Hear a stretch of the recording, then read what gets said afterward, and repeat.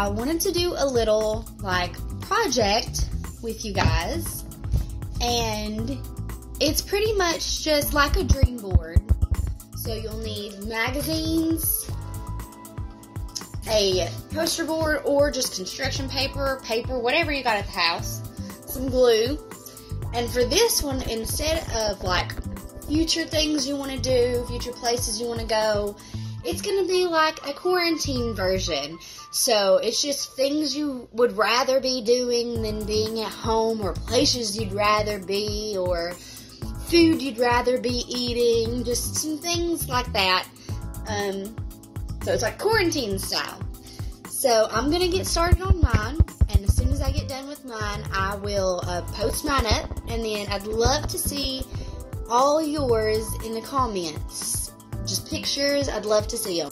Alright guys, so I have completed my board, and I'm just gonna flip around and let you all see. So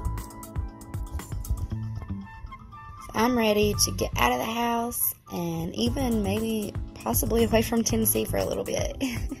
get some good food going.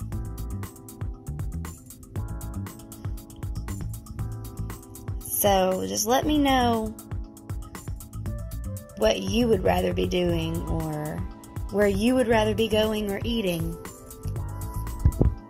in the comments below. Thank you guys.